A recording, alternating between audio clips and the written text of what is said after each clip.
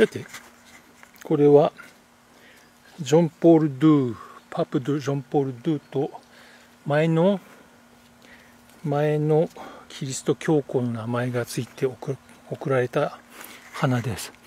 うん。おすんげえ匂いすんの。ほう。ちょっとねレモンのようなね感じですね。へへへへへ。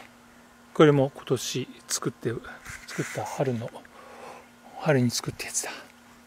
まあいっぱい引いてません。ここはフランフレンチローズの塊。ちっちゃな赤いお花が咲いてますね。ここにも入ってますね。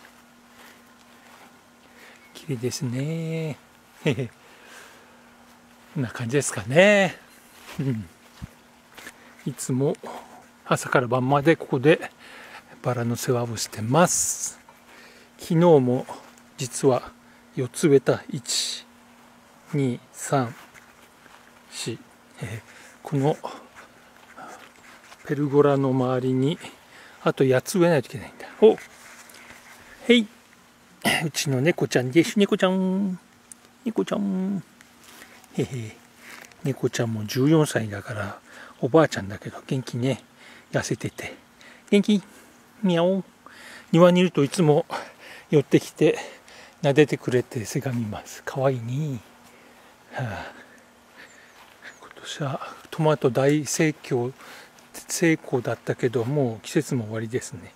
もうこの緑色のトマトはこれ以上赤くならないね。